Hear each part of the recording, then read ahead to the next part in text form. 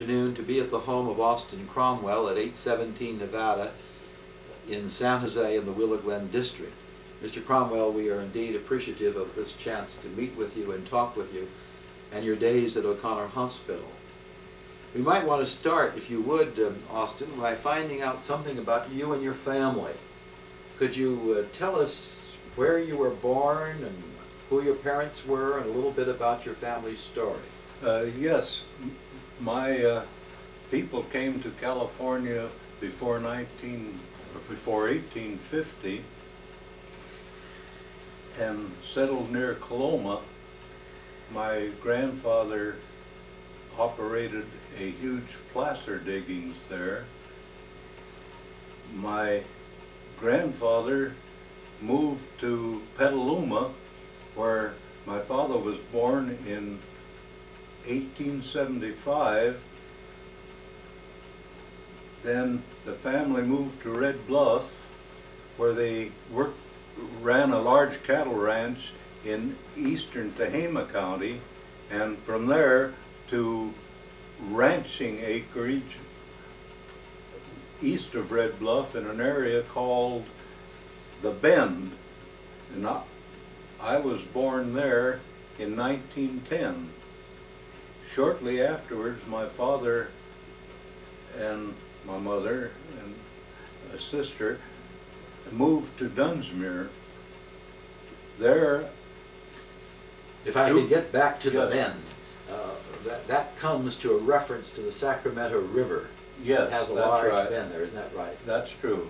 Uh, it, the, this series of ranches was contained within a large U-turn of the Sacramento River, and it was serviced entirely by a ferry. No uh, bridge was built across the river to the two or three hundred folk that lived in this area until about oh, 1923 or four.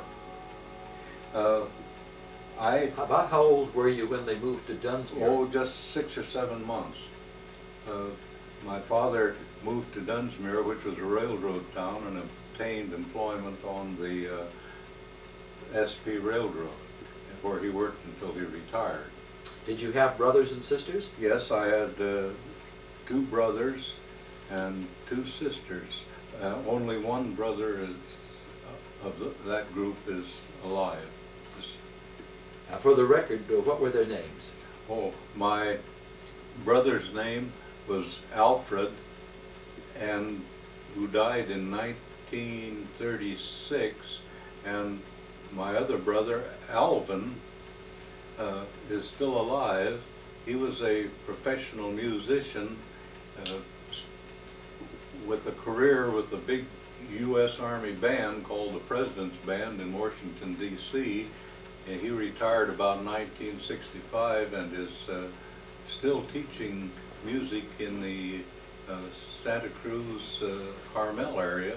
My sisters were named Rita and Frida, and they are both deceased.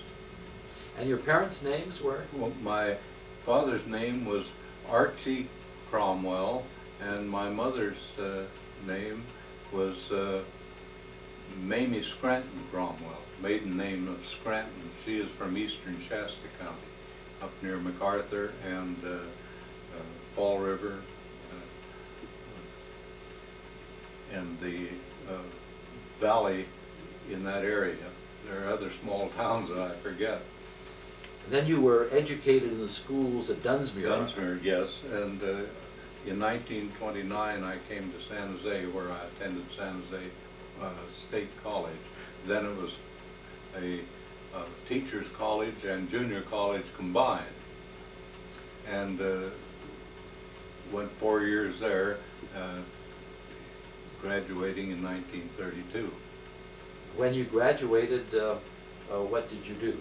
Well, uh, I suffered a decl- decline in vision, which didn't allow me to pursue a career of school teaching, so I found work where I could, and I became the personal secretary of Mr. John Graves, uh, a wealthy retired, uh, um, well, I don't know what you'd call him. He, he was one of San Jose's early makers of uh, brandy. He would uh, buy uh, fruit. They didn't have the refrigeration and before World War One that's present today. He would uh, buy the fruit that was too ripe for canning and uh, gray it to his uh, his place on North Seventh Street and uh, produce brandy. What was the name of the, of the brand? Uh, it was uh, Graves brandy. Uh, through this uh, Mr. Graves, I met uh, Mr. Mirassou and uh, Mr. Oh, that fellow on the west side, famous. Uh, Paul famous Masson- Paul Masson? Paul Masson. Uh, and other early San Jose uh, people. When did you first become acquainted with the O'Connor Hospital here in San Jose? Well, uh, I think uh, San Jose Hospital is uh, an institution that everyone was acquainted with. My first heard of it was through the wife of this Mr. Graves for whom I worked. Now, we're talking about O'Connor Hospital. Yes, uh, about O'Connor Hospital. Uh, Because uh, Mrs. Graves used to reminisce about the old days, and she would uh, go down to uh, the uh, O'Connor residence and play piano duets with Mrs. O'Connor. So then I learned that the O'Connors then moved out to their new building, that is, in reference to the time she was reminiscing, and that it had become a hospital, so I was aware of there being an O'Connor hospital. And uh, from then on, it was like everyone else's information in San Jose. It was just a good hospital and a, a place where they treated you efficiently and kindly if you were sick. Then uh, I, this elderly gentleman for whom I worked, uh, taking care of his business, uh, expired, and I, by an amazing coincidence, I think, uh, went to work uh, at O'Connor's, and that was 1941, uh, in June. I can remember going to work uh, in November, and the Army, or it seemed like the Army, was camped in a vacant field across from uh, the old O'Connor Hospital, and I hadn't listened to the radio or read the newspaper, then learned that the Japanese had uh, attacked Pearl Harbor. Of course, we're talking now of the old brick building, the Yes. old O'Connors, as you've called it. That's to we old timers, the old old Connors means the uh, building and its outbuildings uh, bounded by Meridian and O'Connors, or not O'Connors, uh, San Carlos, Auzerais, and uh, Race. Race, Race Street. Uh, had you um, been, ever been a patient there at the uh, old O'Connor? No, I never was a patient at the old O'Connors, but I worked there until it closed in 1953, and then What, what did you do there during that I time? was uh, uh, a non-professional uh, attendant uh, taking care of the male patients. They didn't have many male nurses in those days, so certain uh, nursing procedures were allocated to these specially trained uh, uh, non-professionals. Such as yourself. Yes, such as myself. And um, uh, going back to uh, Miles O'Connor and his wife, did you ever meet them or see Oh, them oh, personally? no, no, I, uh, well, uh, Mrs. O'Connor died in nineteen twenty-six, and I wouldn't know about, uh, her or have, well, our lives wouldn't cross in any way. Although the building was imbued with the uh, personality of the O'Connors. Uh, I remember. In what way did you notice that? Um, In the, uh, well, the, much of the furniture was uh, late Victorian, and it was selected by the O'Connors. Also, the O'Connors were great collectors of art, and some of it, I understand, was uh, very valuable to almost priceless.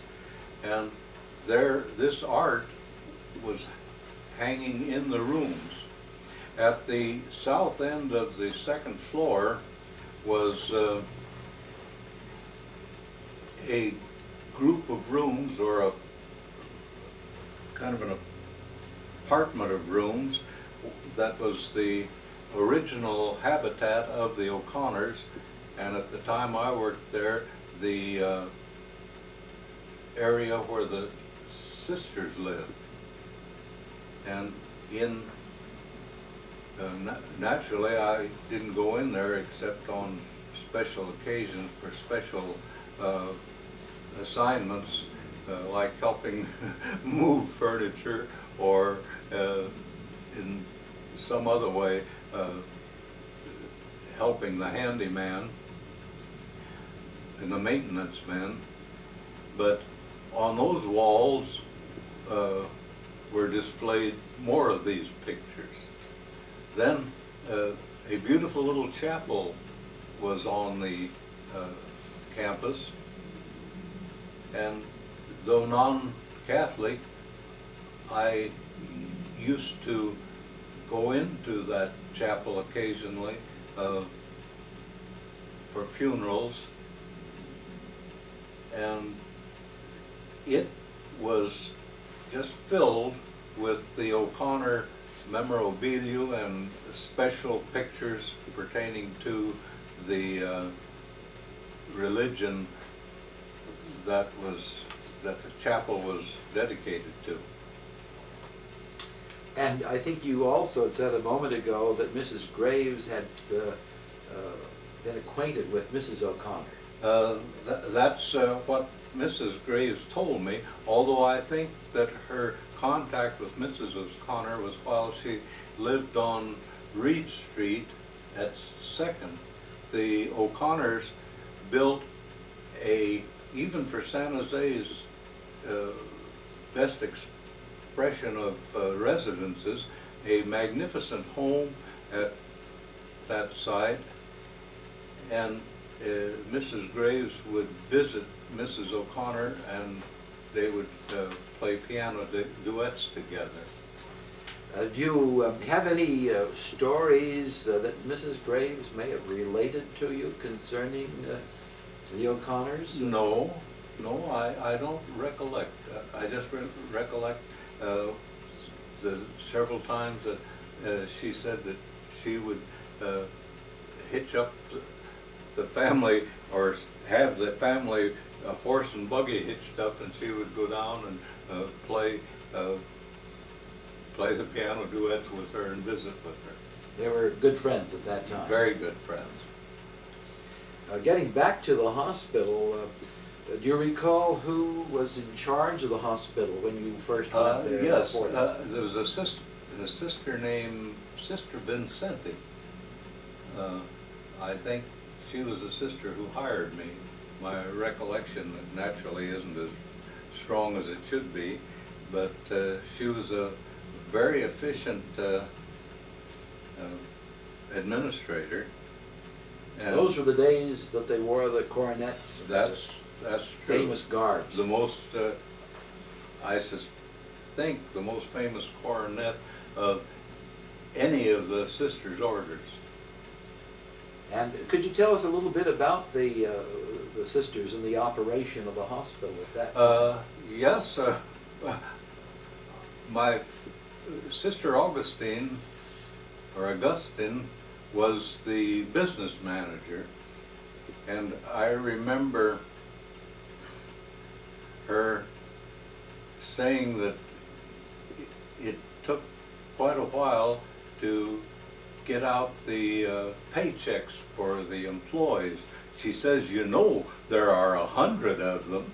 And I guess now, just in the uh, business department, they probably have between 70 and 100 employees. And the hospital, when I retired in 1976, had 900 employees. And that uh, O'Connor's, the first O'Connor's, uh, was uh, staffed with only a 100. About how many sisters were there at, Uh, at the I time? would, The Daughters of Charity. I would say, oh, I- it's hard to remember, between 10 and 15. Uh, I remember Sister, oh, I can't think of her name.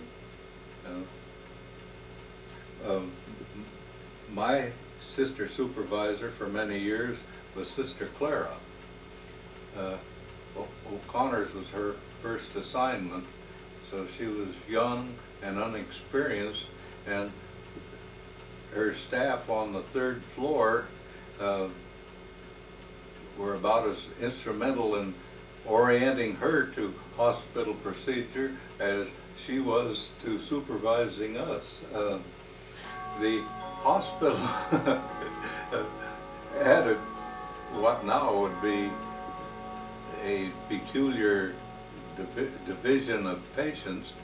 On the first floor, as was contained the women patients, and on the second floor was contained the men patients.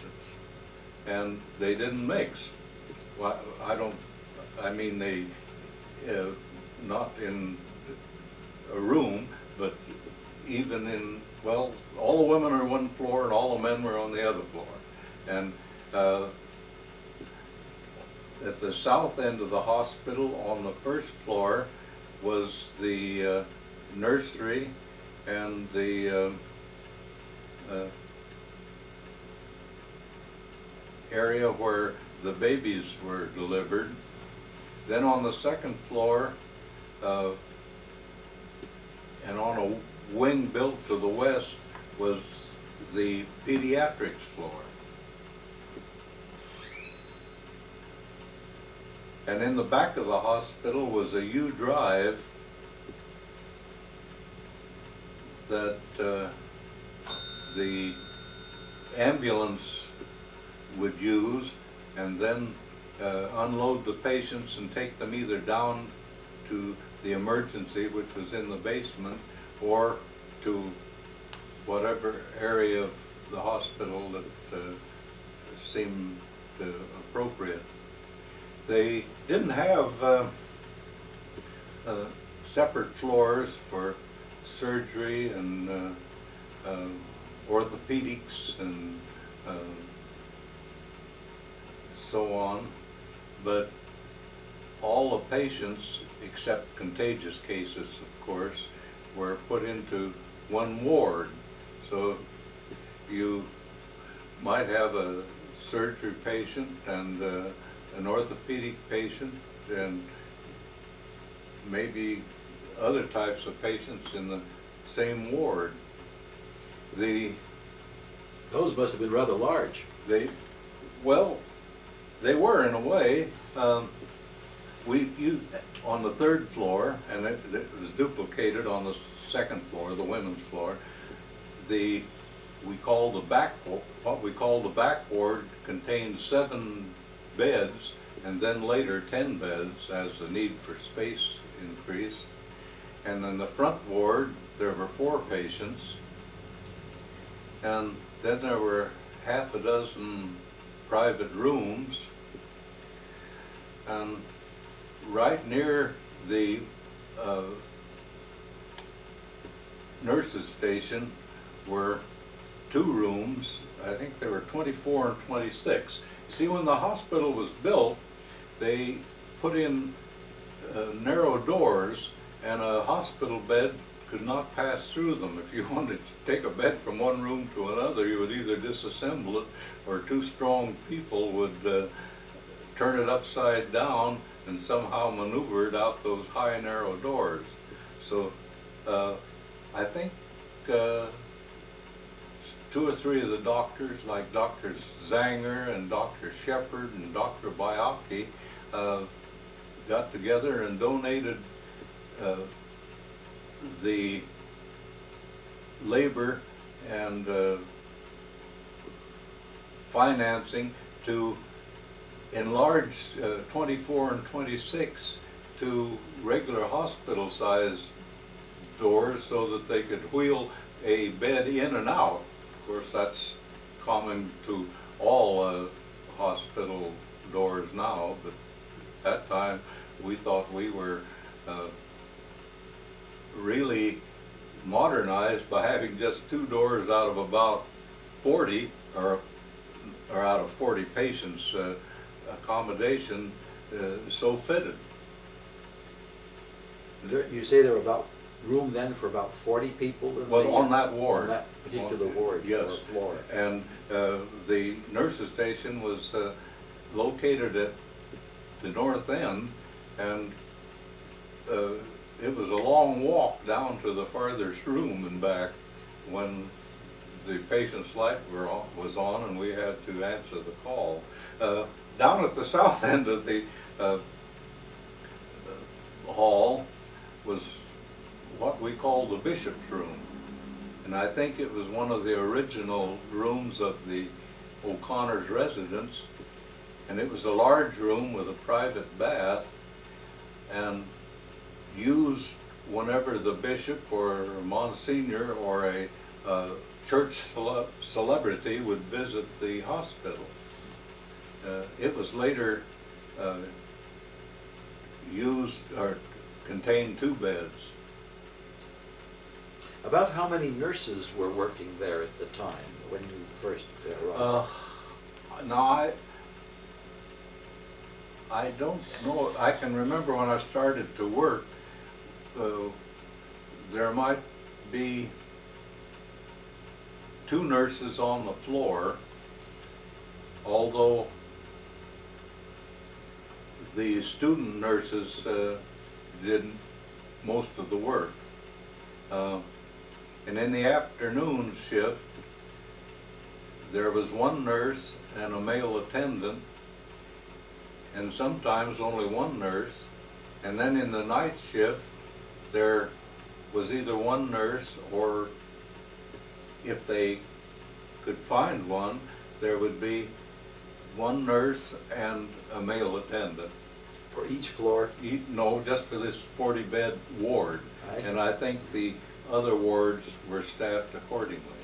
Of course, the, uh, the nurses' uh, school was connected to the hospital, and the nurses, almost from day one, were learning by hands-on experience.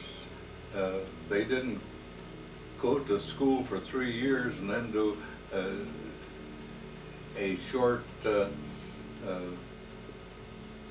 practice training stint in the hospital, but by the time their th- three years were up, they had had three years of practical experience uh, synchronized with the academic side of the training. So they were very efficient and uh, competent as uh, nurses uh, through the whole period of training and contributed greatly to the uh, nursing staff of the hospital. You mentioned the names of several of the doctors at that time, Dr. Bayaki Dr. Shepard. Do you remember some of the other doctors who were Uh, uh, using the hospital at that time? Yes, I remember of, oh, I can't think of these names. Uh, I remember Dr. Amaral, who was a, uh, Dr. Turco, and Dr. Pritchard, who at one time, I think, was uh, mayor of Santa Clara. I think you're right. And uh, Dr. Fagerstrom, a urologist, and Dr. Henderson, a urologist. Um, Dr. Zanger, surgeon. Uh, Dr. Smith, an internist. And Dr. Well, uh, those, those names just won't come back, although I worked with most of them.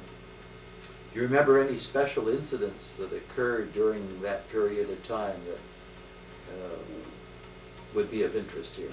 Uh, Well, I remember um, vividly, it must have been 1951 or 2, um,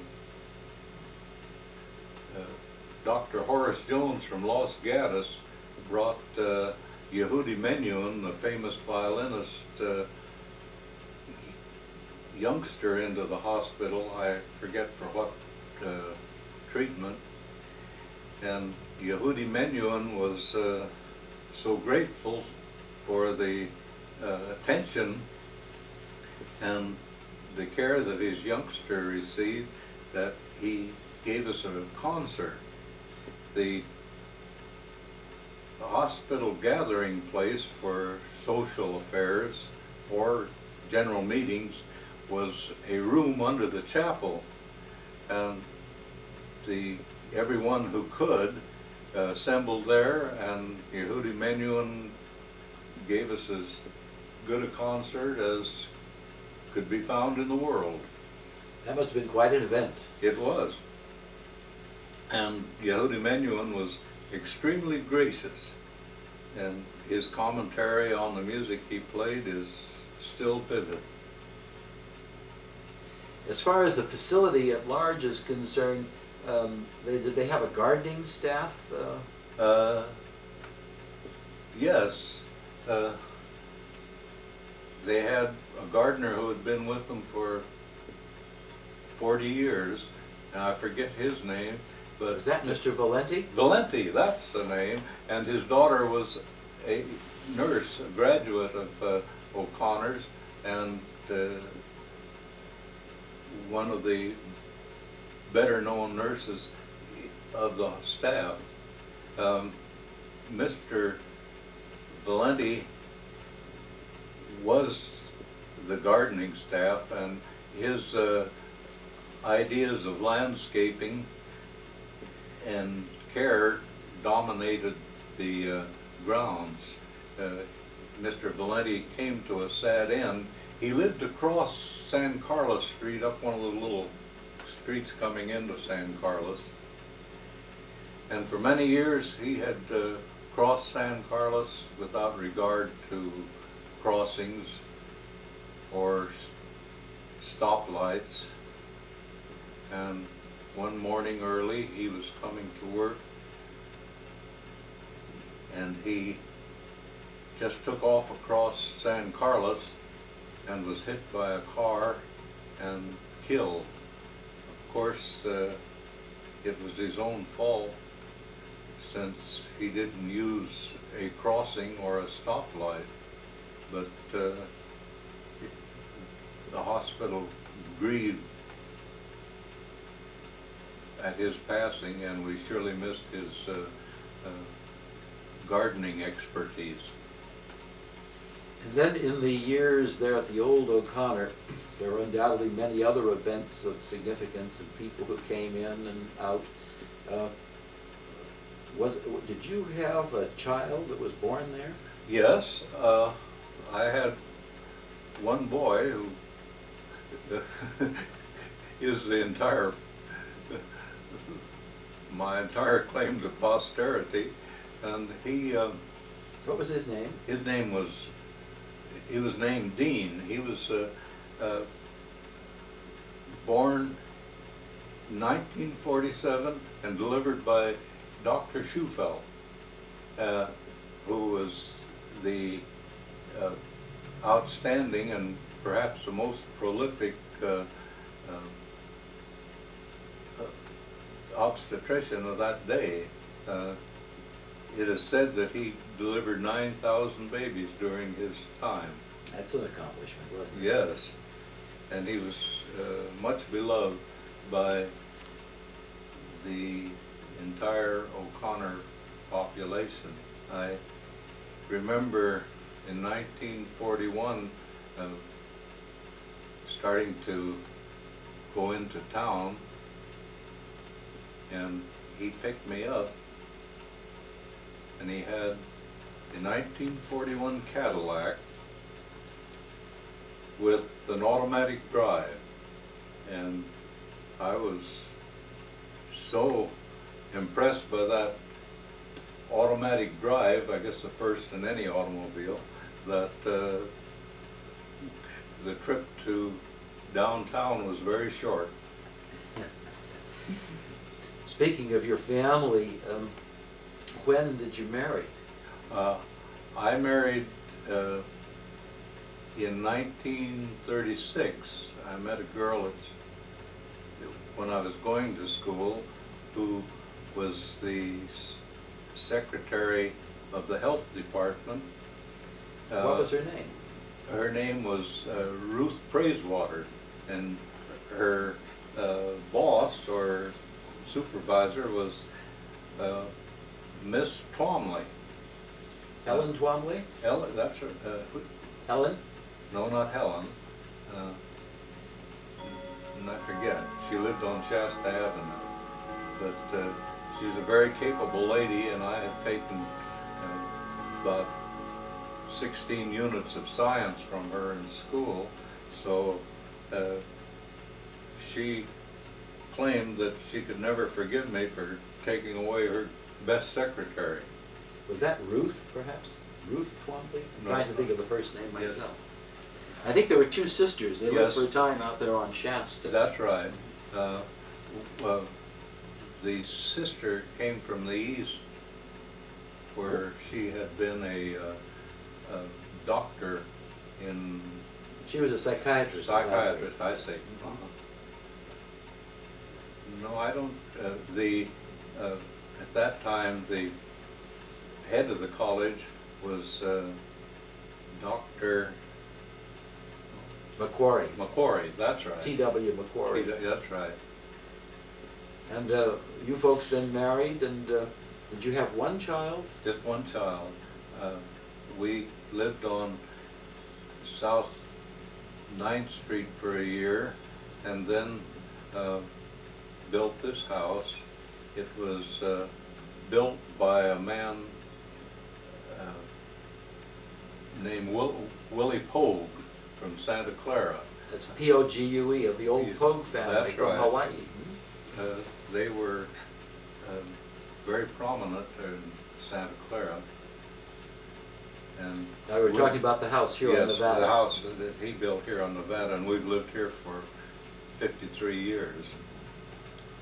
How would you get back and forth from here to, uh, to work over at O'Connor's back in the 40s? Oh, well, uh, by automobile, as I guess everyone in San Jose by that time owned some kind of uh, a car for transportation. Um, I had a, an old 1930 Chevy coupe, which served through the war. It had to because automobiles were unattainable at that time. How was the parking at the hospital in those Uh, days? excellent.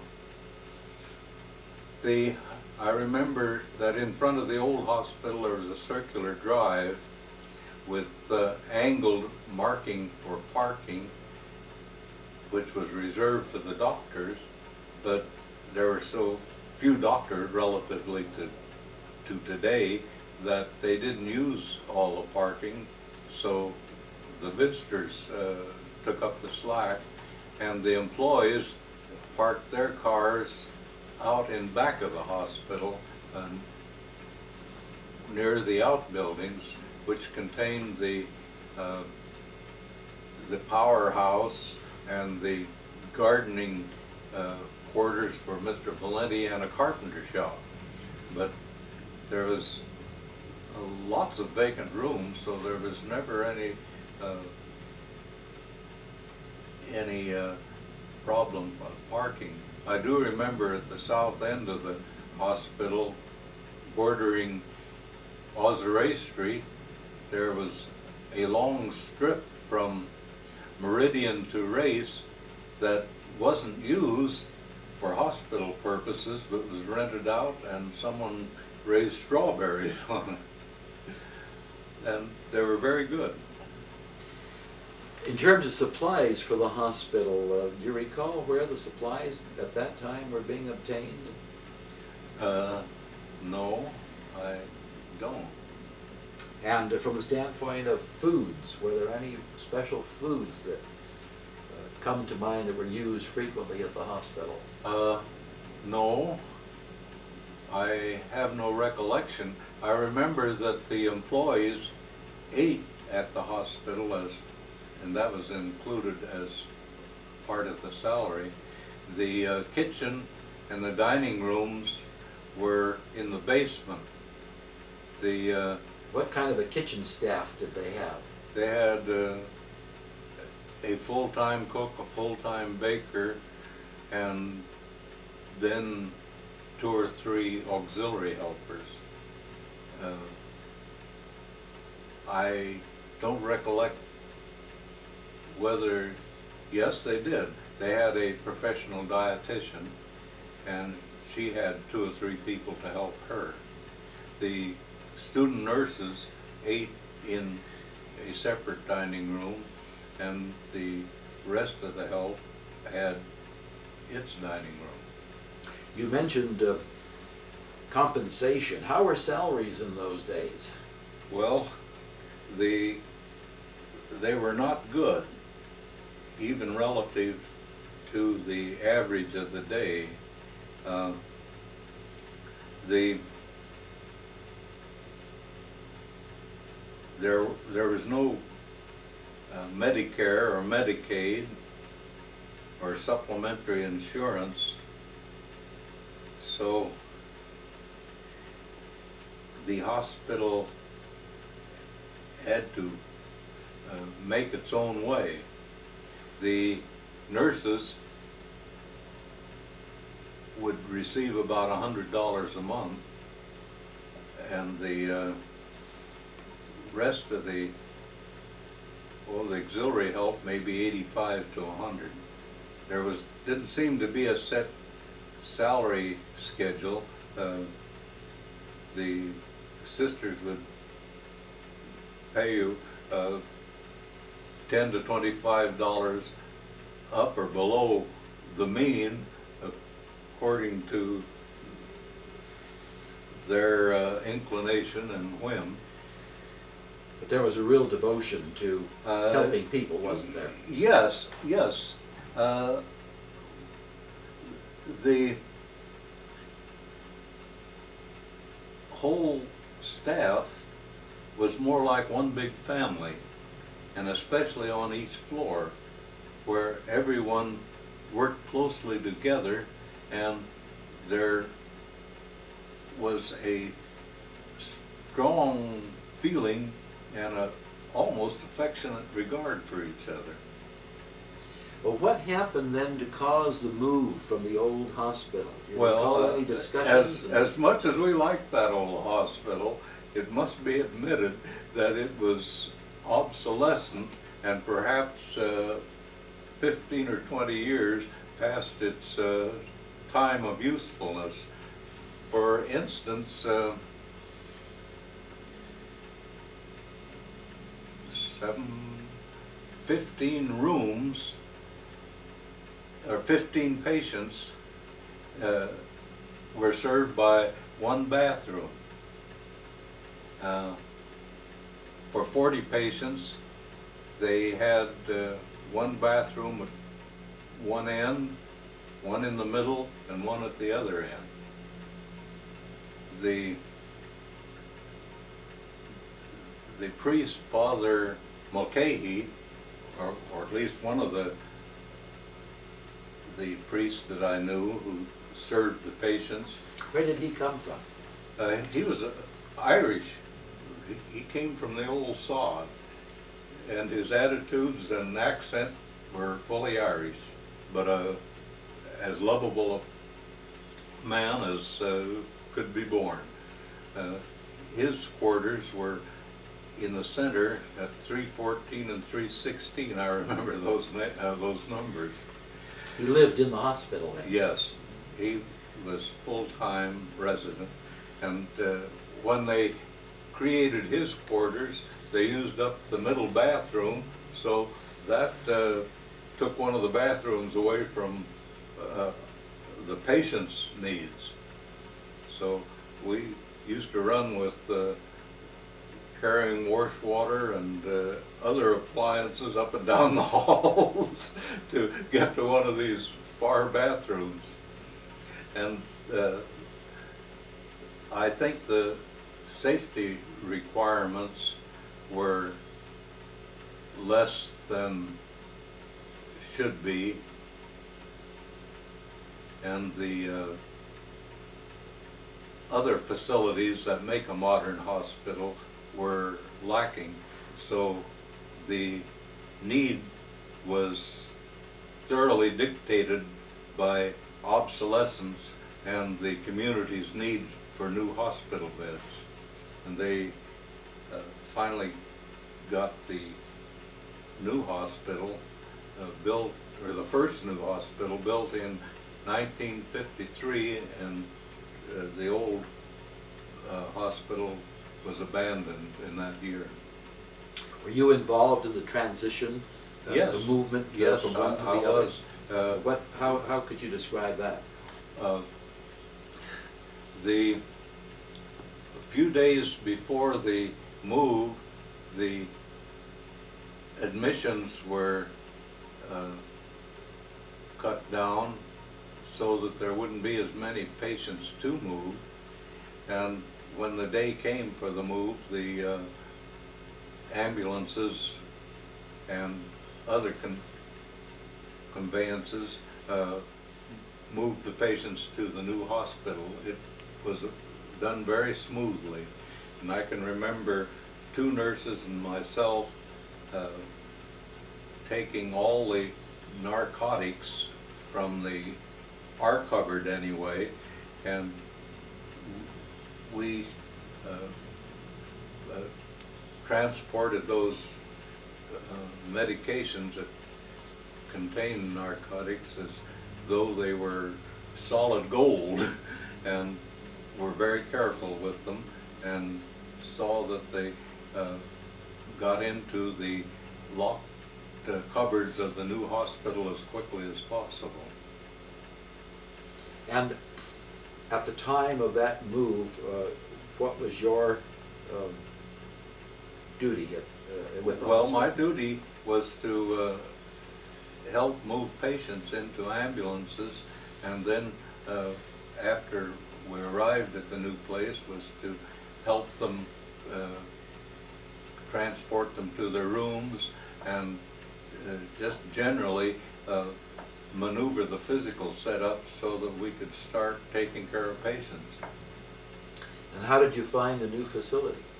Well, to us, it was just heaven.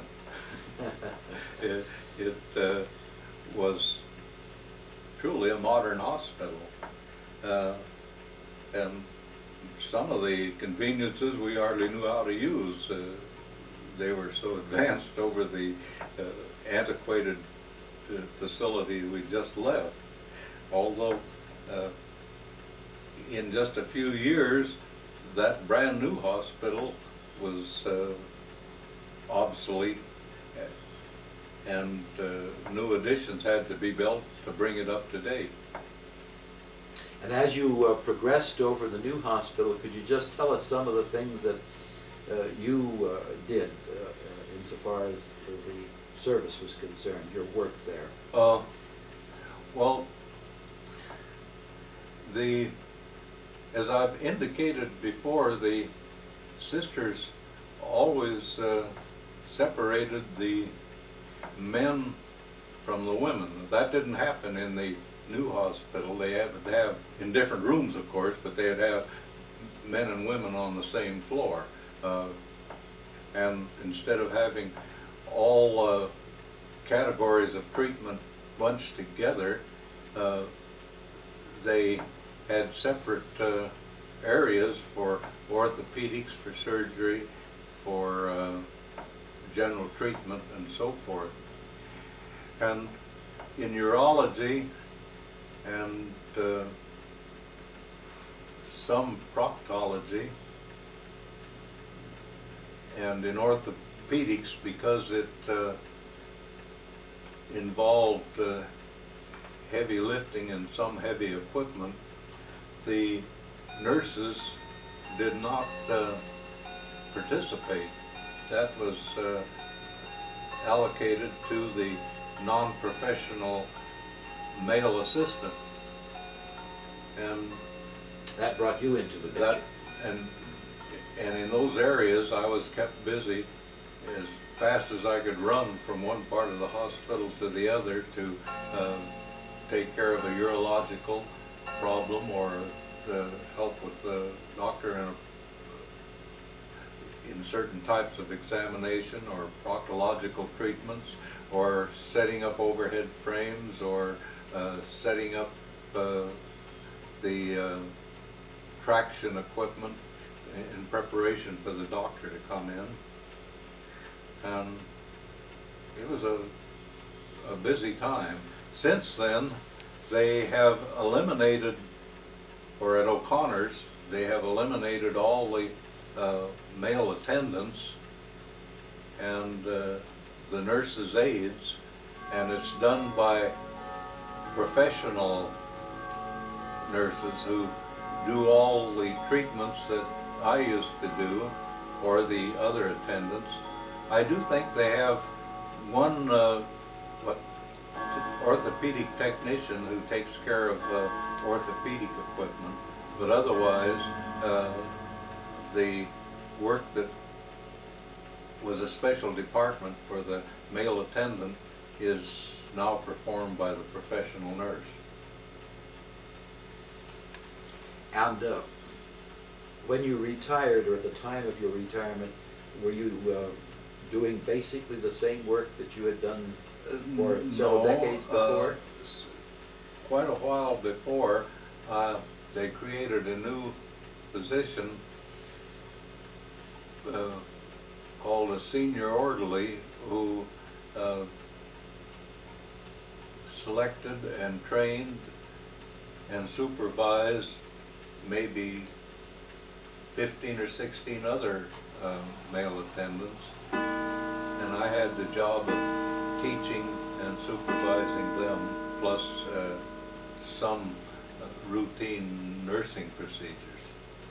Earlier on, you had practically been the only one, the only I was the only one, uh, and in the old hospital, I was many times the only one in 24 hours, and I can remember them having a uh, urological procedure to be performed, and I would be called from home to the hospital to do that.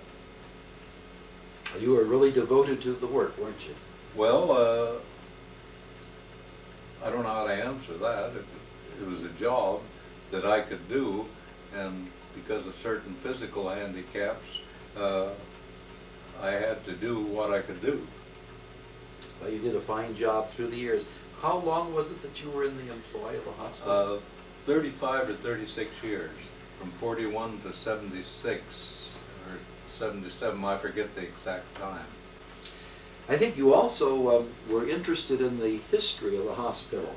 I was, yes. Uh, well, I'm interested in the history of about any kind, but uh, O'Connor's was so rich in history uh, that I became interested, and would talk to some of the old-time doctors, like Dr. Gerlach and Dr. uh, Turco and Dr. Amaral about the old days, and uh, developed uh, quite an understanding of uh, the old times from, say, 1900 to 1935 or 36.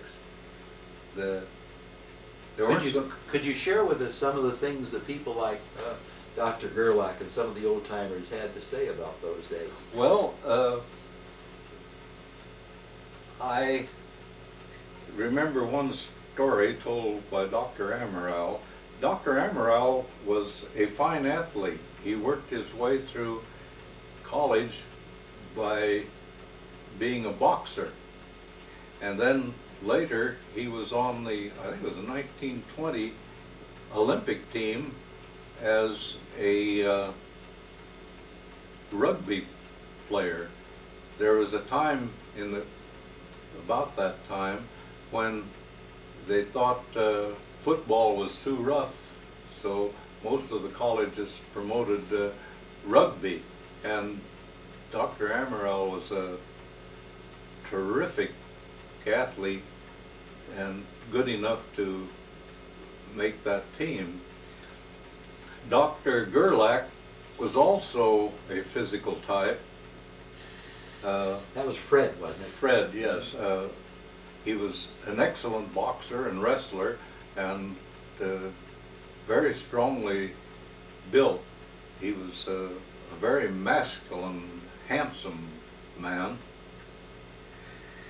And Dr. Amaral was uh, his partner. Oh, this must have been in the 1920s. And they, Dr. Gerlach's office was downtown on Market Street, about Market and Post, as I recollect. And that was also the area where some of the toughs would uh, congregate and uh, threaten passersby. Well, it seemed that uh, Dr. Gerlach and Amaral were up in the office and someone came up and uh, threatened them. Well, I, I don't know why they were threatened, but this fellow said, and if you don't do this and that, I'll bring up my buddies and we'll fix you. Well, he left, and uh, Gerlach says, are we gonna let this, let them get by with this? And of course Amaral says, no, of course not, and they both went downstairs to the gathering place of this group, and the ensuing brawl cleaned out their opposition, I'm told. I think Dr. Amaral also became the uh, physician for the uh, teams at the University of Santa Clara. Oh, yes, that was his uh, very proudest uh, achievement. Uh, I can remember when uh, when Santa Clara abolished big-time football, and Dr. Amaral went campaigning around the hospital, just bemoaning the fact that there wouldn't be the big league football anymore at Santa Clara. and uh,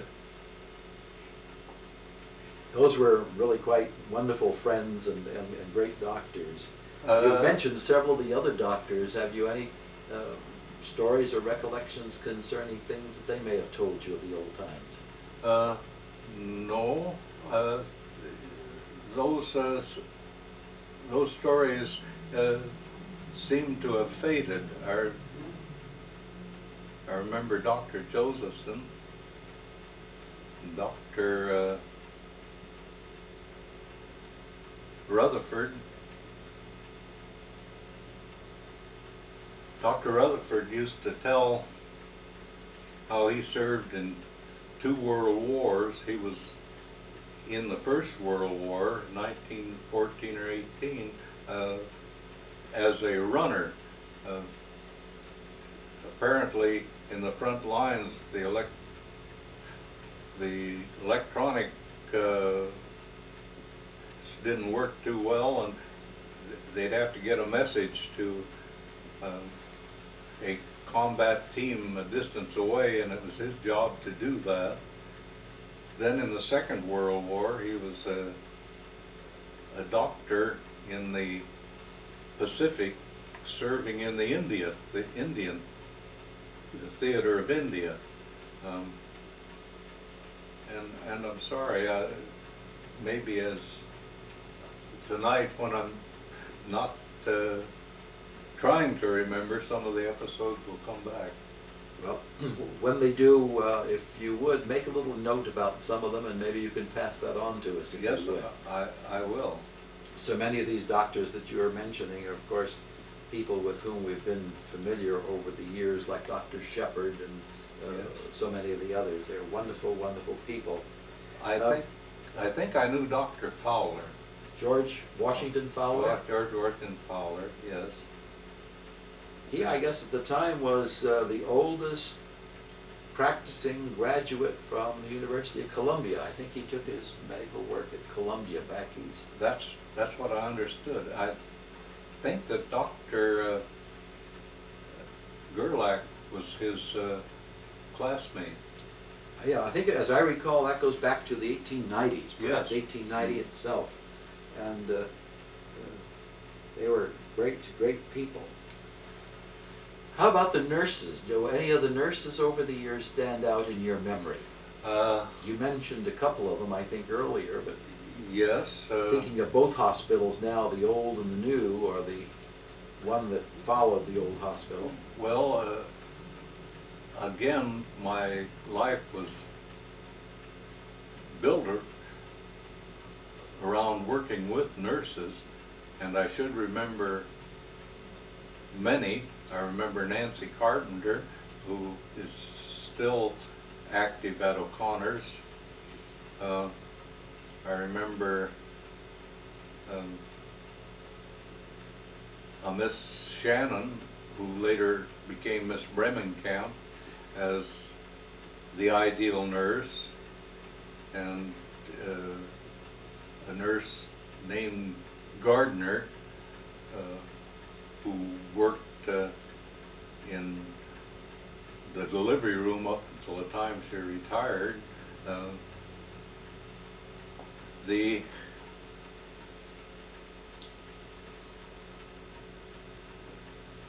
How, how about the sisters, the, the, daughters of charity over the years? Uh, you worked there under several administrators yes, and uh, uh, several of the daughters, who, from an administrative point of view. I, I remember Sister Stella, who was a very popular administrator, and Sister Bernice, who was uh, Sister Superior when we uh, moved in 1953. Then Sister Margaret, there was uh, some kind of a dissension between the administration and the doctors for a while, and uh, Sister Helen came, and she was a public relation genius. She wasn't there long before all the problems were straightened out. And I remember one episode with Sister Helen, that's my favorite recollection in many ways. Uh, one of the supervisors and at that time was a Scotsman by the name of Joe McKinnon. And he was uh, famous for his frugality and uh, not spending money. Although many consider him one of the best supervisors this county ever enjoyed. But for some uh, occasion, uh, Joe McKinnon came out to the hospital. I, I don't recollect the occasion except that uh, he, it was necessary to, for him to be there either for, for some protocol or some ceremony. Now, Joe was on the county board of supervisors. County board, yes. Uh, And uh, Sister Helen received him. And the Mercury News photographer uh, wanted to take a, or requested to take a picture of the two of them. So uh, Sister Helen stood very close to Joe McKinnon. Uh, McKinnon was rather a tall person, and the uh, the photographer asked him to look pleasant, and uh, so Sister Helen looked up at Joe McKinnon and she says, "Smile, damn you, Joe." and Joe McKinnon uh, wouldn't would go to no other hospital except O'Connor's after that, and it was he who told me that story, and he just chuckled all the time he was telling it. He was a great person, and as you say, a very powerful uh, political person in the county at that time. And uh, then the, the sister since then, I don't remember too well. Let me um, ask you to do this, if you would, Austin. Thinking back uh, over the years in your service there at O'Connor, uh, what would you say would be your fondest or best memory and, and, and the thing that you like best about your work? Well, uh, the outstanding characteristic of this job to me was that one time or another, I would meet almost everyone and talk to him very personally and sometimes intimately uh, while he was a patient. And though I forget so much, I would hardly meet as many people as uh, one sports announcer says, close up and personal, uh, in any other job as I did that. Uh, And That must have been very satisfying to you, It- to it the was very- ability to help them. Yes, it, it was very satisfying. And I still uh, have people come up to me 12 years after I'm retired, and some of them uh, who haven't seen me for 40 to 45 years and greet me as a lost, uh, long lost friend. And it is very pleasant to have these people remember you kindly for having helped them during a period of trial. After your uh, retirement, uh, you settled in here at home?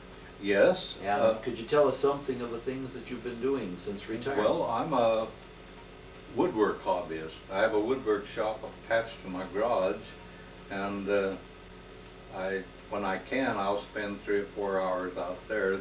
This is all furniture that I've built that uh, is visible. the furniture in your Yes. room here. And uh, I also, during my time of employment, would uh, make furniture for the doctors. Uh, I remember bedroom sets and uh, dining room sets and uh, office furniture that supplemented the, at times, less than adequate income. Of course, everybody's income at some time or another seems inadequate. One of my uh, best recollections was uh, being on the founding committee of the 89ers. I was going to ask about your association with the 89ers. Yes, Could you uh, tell us about that? Uh, we, uh, the, see, this was Sister, oh, I forget. Well, uh, this sister decided, or the sisters decided, that uh, there should be of an outgoing publicity campaign to uh, acquaint the community with O'Connor's and the uh, work they were doing. So they hired a professional who could develop that sort of a program. And one of his uh, first projects was to organize this group, and it was called the 89ers, uh, And the name came from? from the hospital. Well, I think the hospital, was- construction started about 86, but the hospital was opened in 1889, and the, this group was named the 89ers after that uh, opening in 1889. And the, a group of prominent citizens uh, under this uh, professional were invited and accepted and met to organize a program dedicated to the history of San Jose and to honoring the uh, the old time uh, names and residents of the area. They would uh, hold a dinner each year and invite a certain uh, group, maybe uh, the old Irish back, those with the Irish background or Italian background or uh, Portuguese background and so forth. And up to 800 people would attend this uh, dinner in their honor uh, and uh, usually accompanied by an appropriate uh, program. Well, you helped in putting a number of those together, as I Yes, recall, including yes, I did. setting up some of the displays of historic Yes, materials. I was uh, uh, elected historian, or active historian of the group because of my long tenure at the hospital.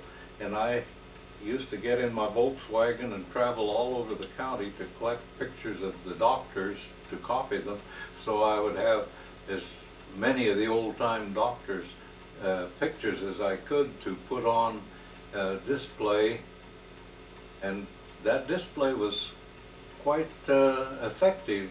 As a, old timers of the valley would come in and look over all these pictures of doctors, and oh, that was my doctor, that was my doctor, and it brought back memories.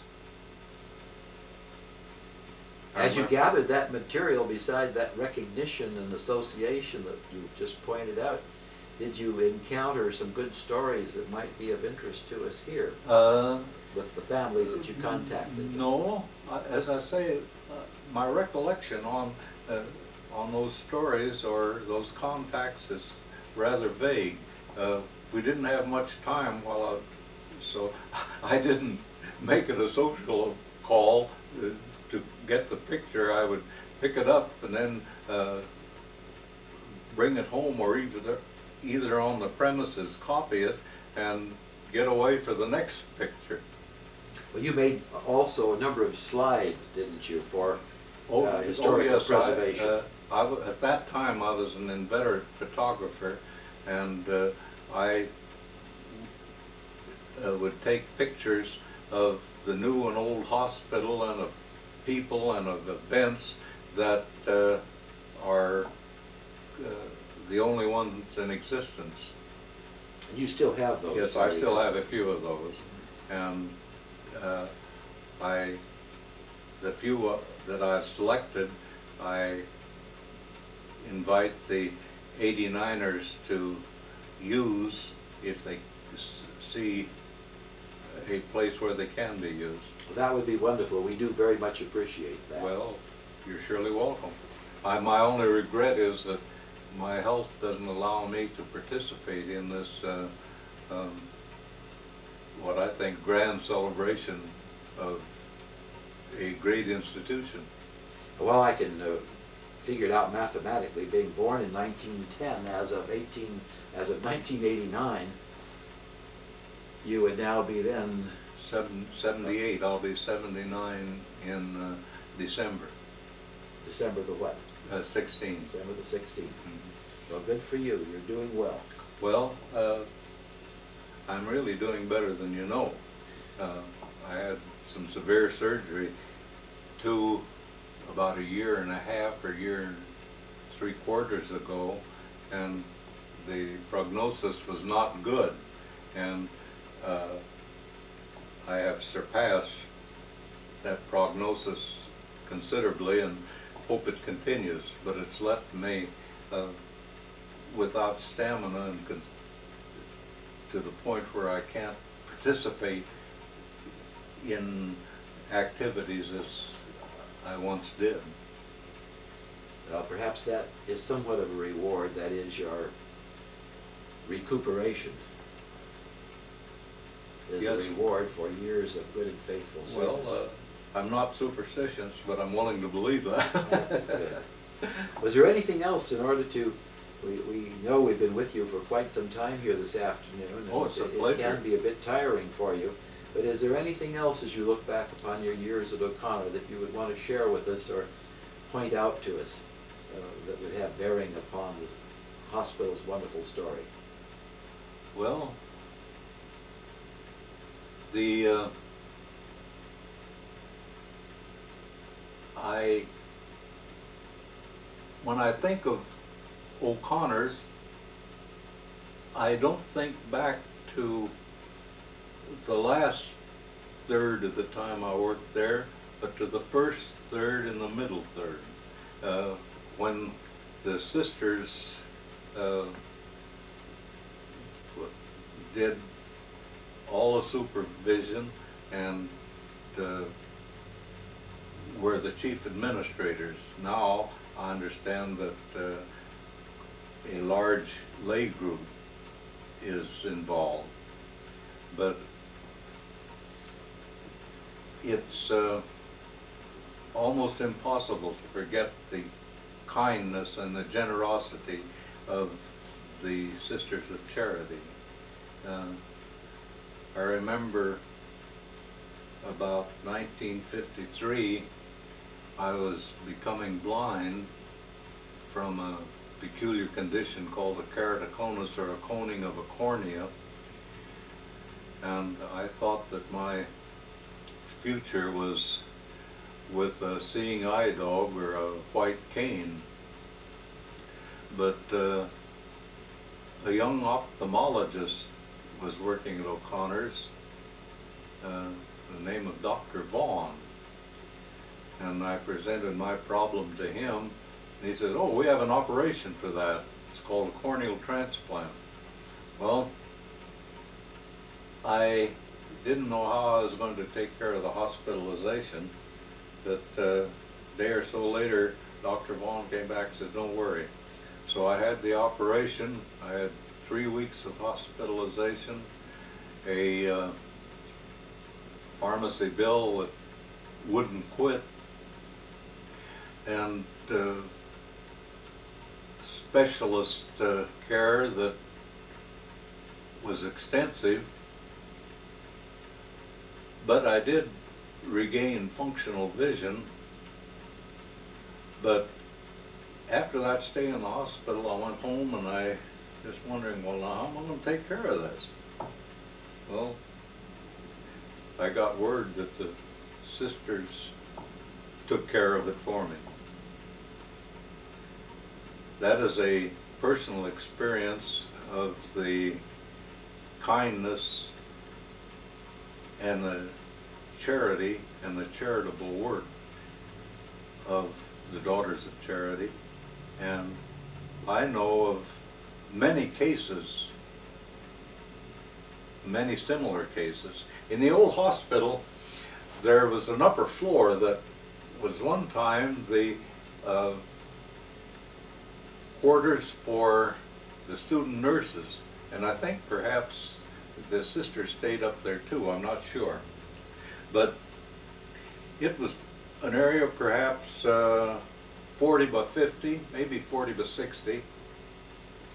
And down the center of this wide open space, there was a double row of cardboard boxes, file boxes, just filled with uh, folders. And, oh, what, what, what are all those about? And the sister to whom I was talking answered, well, those are old accounts that will never be able to pay, so we are just canceling them out. Now, how, with a group that does that for a community, and is that considered of the welfare of a- many individuals, has all the loyalty and respect that I know how to give. So I say, God bless the Sisters of Charity. Amen to that. Austin, we do thank you for sharing these memories with us this afternoon. And God bless you as well. Well, thank you very much. That's been a pleasure.